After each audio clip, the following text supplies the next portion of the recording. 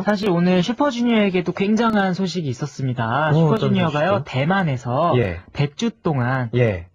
연속으로 1위를 했습니다. 그렇습니다. 축하요. 자축. 네, 자축. 박소정 씨께서도요, 아, 축하드립니다. 이렇게, 어, 콩으로 보내주셨고요. 100주면은 음, 대만에서.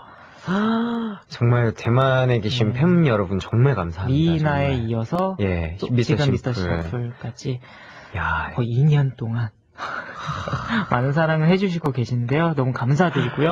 아, 진짜 실시하자. 아, 말도 안 되는 거 아니에요? 어. 정말? 와, 정말. 타이완도 펑여먼, 음. 어, 워실리쉬, 음, 한간동, 어, 한간동 감동했습니다. 네.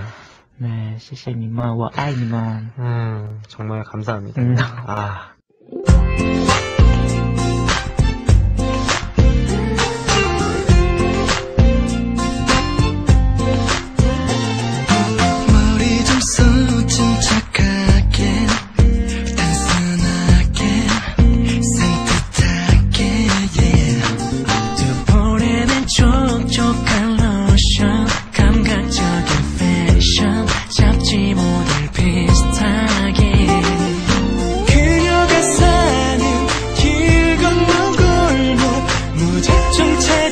되기 전에